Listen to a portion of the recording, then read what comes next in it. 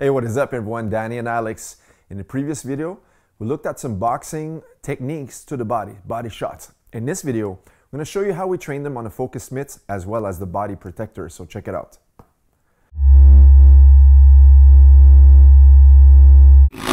Okay, so let's look at body shots here. So using the focus mitts, what I want Alex to do is just like the previous video, learn to sidestep first on his right and then back to his left and come back to center, right? In reality, once you've done your body shots, you don't always come back to center. You're gonna have three locations you can move your feet. Number one, back into place, but you can also move away to the left or to the right. So when I wanna hold the pads for him, what I'm going to do is place the mitt exactly where the target would be. So in this case today, we're gonna look at that last variation of the uppercuts to the body. All right, so what I want him to do is half step here and go body shot and then come back to the center. Okay, so one more time here. Every time you practice, make sure your feet are well placed. The most common mistakes is people will just throw with the arm from that place and just swing it. And number two, they'll also drop before because they want to generate a little bit more power. The thing is, you don't have power if you don't hit the target, right? You're just punching air.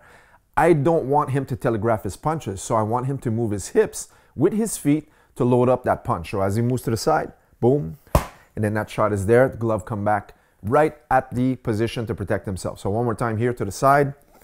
That's his body shot. Now if we worked onto the liver side, it'll be the same thing. That's his body shot here. So here, notice how we want to lean our body weight onto our lead leg. So that's the post. So that way there, because he's slipping at the same time, he has that anchor point to push off into a lever into the punch. So from here, boom, that's the liver shot. So again on the right side, step, and then onto the left. And these are great ways to start out practicing your body shots. Building on this, we can also use the previous technique where I want him to just drop down. That's called a sit, right? So we're just squatting low. So imagine someone threw a jab and you just boom, let it pass. Maybe a one, two, boom, boom, and just let it pass. So that's the movement you want to visualize. So as he drops down with a sit now, I'm going to wait for that body shot. But look how he turns the knuckles to the side. So if you stay upright and you lean or step, you want to throw it almost like a uppercut motion. We call this a shovel hook. And now if you drop down low, it won't be the same point of impact. So now you want to hit with your knuckles and turn sideways to have more impact.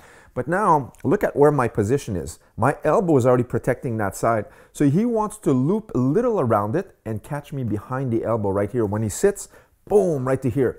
So I'll have him practice this with the sits. So we'll go sit down, boom, loop it in. Again, sit down and boom. See how I place my focus pad exactly where the target is. Boom. And one more. Boom. And then we could practice having him slip, or I should say sit on the jab, and look, bam. And again, bam. And that is a great way to practice beginning hook punches to the body on the focus mitts. Now building on this as well, as I mentioned earlier, is I don't want Alex to stay into the center. So for example, if he threw a hook, let's say to the body here, boom, instead of coming back to the middle now, since he's already taken a step, I want him to pivot towards his right side and create that angle out. So as he throws the body shot, boom, and then look, he's out of range for any firing attacks from his opponent. So one more time. As he throws that body shot here, boom, and then he's out. Okay, so that forces the opponent, in my case, I'm the pad holder, but the opponent that would be in front of you, to move as well. So as you move to the side here, I'm forced to follow him. And that's not exactly what I was intending to do. My intention after I've covered or even eaten that punch is to attack him back. But he's not in that place, so that way there that creates a perfect angle for him to continue his counter punches. So one more time here, to the side, boom, and he's out.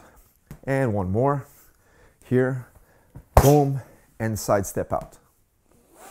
All right, so now I put on the body protector. All right, this is huge, but this is good because now I can have Alex really ram in some body shots without having the training partner, or I should say, in my case, the coach getting injured, right? So um, if I don't want my focus mitts in the location to catch the punch, then I'm gonna use my own body. So in this case, the body protector.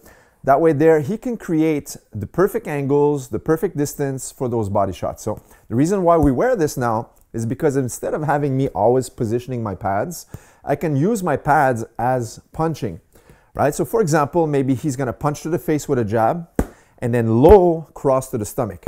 And now I don't have to just put my mitt here because now I can keep my hands here to see him exactly. He wants to visualize hands are up from his opponent and know the exact distance and angle for that precise body shot. So for example, high upstairs and across downstairs, right? So that's a basic combination you should be um, always practicing right here. Boom.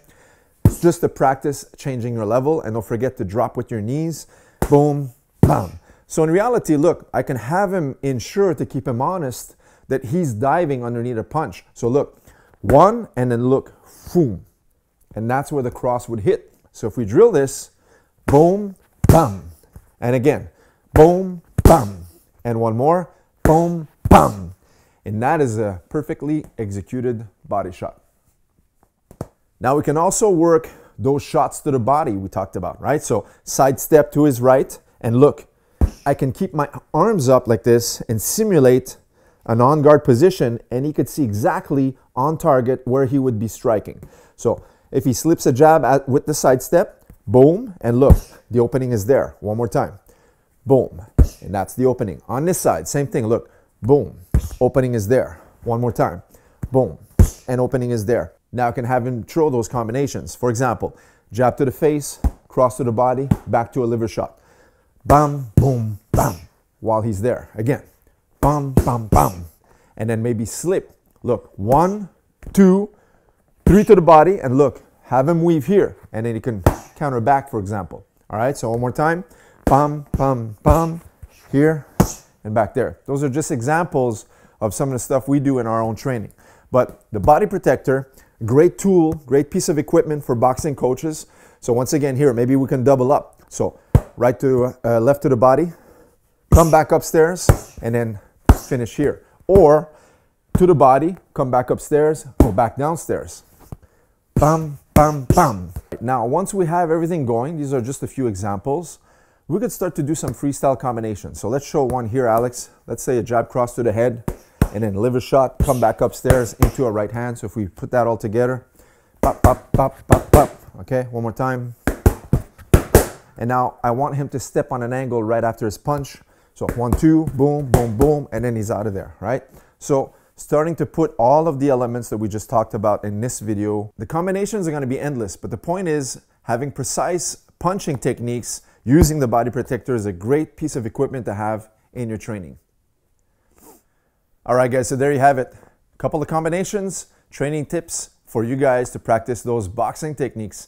Guys, hope you enjoyed this content. Leave us a thumbs up, and we'll see you in the next video. Take care. Oh, yeah.